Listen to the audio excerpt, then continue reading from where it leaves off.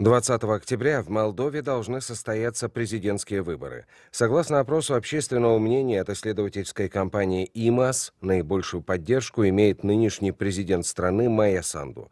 После поражения Игоря Додона на выборах 2020 года Кремль сделал ставку на олигарха Илона Шора, но после того, как молдавский суд объявил его в международный розыск за финансовые махинации и запретил его партию, политик сбежал в Россию. Там он, заручившись поддержкой поддержкой других пророссийских молдавских сил презентовал блок «Победа». Но, как отмечают эксперты, ни он, ни кандидат от блока Василий Боля не имеют поддержки в Молдове. Сам по себе э, Василий Боля, он не является э, фигурой с достаточным рейтингом для того, чтобы претендовать на какой-то более-менее заметный результат. Поэтому я его шансы оцениваю как э, очень невысокие. Да, конечно, будут брошены громадные деньги, да, будет активирована вся сеть Шора, это несколько партий, которые будут за него агитировать, за Василия Болю. Но я не думаю, что это даст ему какой-то шанс шанс на победу. Кроме продвижения своих кандидатов, Кремль также старается подорвать доверие к нынешним молдавским властям. Для этого он распространяет информацию о том, что руководство Молдовы якобы хочет втянуть страну в войну и отказаться от своего нейтралитета. В частности, российский МИД в начале августа заявил, что Молдова планирует предоставить свои аэродромы для украинских F-16.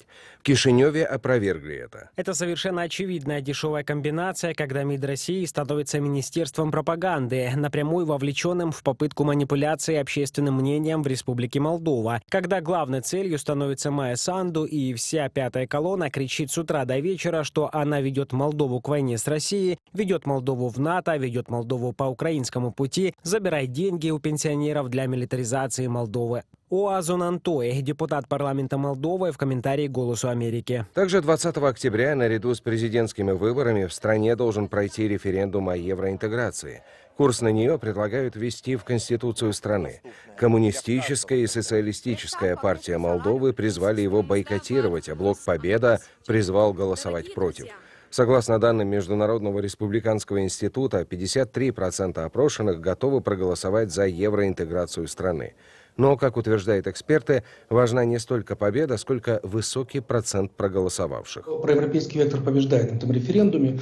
Вопрос в том, с каким э, результатом. Потому что победить 50 там, плюс э, пару процентов – это тоже победа. Но это победа очень неуверенная, которая даст козырь в руки пророссийской оппозиции, которая будет постоянно повторять, что ну, примерно общество пополам расколото, а вы нас тянете в Европу. Поэтому здесь важно победить именно уверенно, чтобы это было 70 и там выше. То есть, а если 80, то вообще идеально. Но влиянием на политику страны Кремль не ограничивается. Москва имеет в Молдове еще и агентурную сеть. В августе 2023-го после обвинений в шпионаже из страны было выдворено 45 работников российского посольства.